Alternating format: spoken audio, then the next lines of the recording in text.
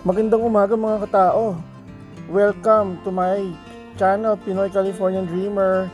Ito maganda ang panahon ngayon.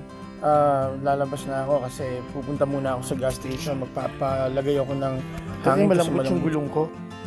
Pero iikot muna tayo. Yung dun sa nakikita yung bundok ngayon, ipapasyal ko kayo doon para makita nyo. Dito yung lugar namin. Karamihan dito mga farm ng strawberries, lettuce, raspberries, yung mga ginagamit sa salad. Kaya yung pinakain yung salad, most of them galing dito. Kaya nga tinawag yung lugar namin na salad capital.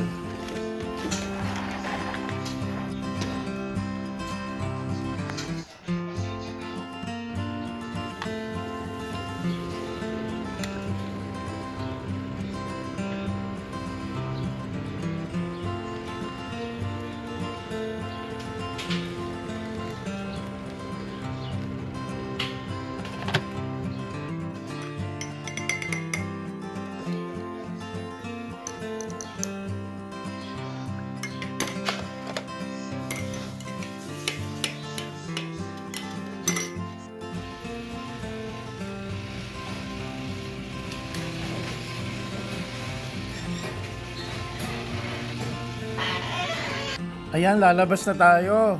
Oh, sakay na. Ikot na tayo. Tara.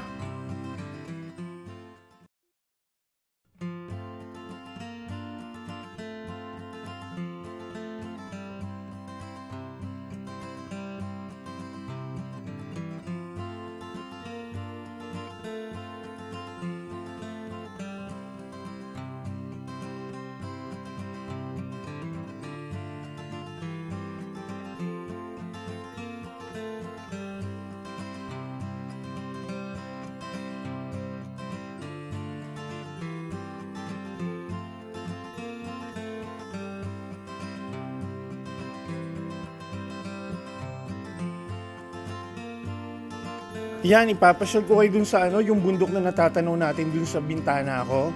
Yan yun, mga 10 minutes drive lang from my house.